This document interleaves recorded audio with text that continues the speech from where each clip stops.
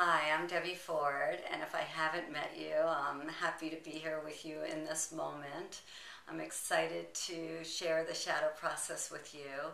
It's a process that changed my life.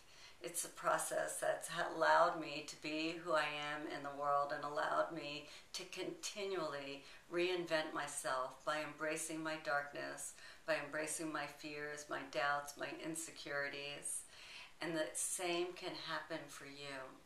It's also allowed me to step into my light, into my joy, into my brilliance, into my worthiness, into my greatness.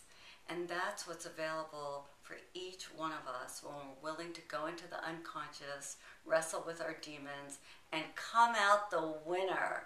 So please come join me in the shadow process and step into your brilliance, your creativities, your dreams, and of course, your sexiness.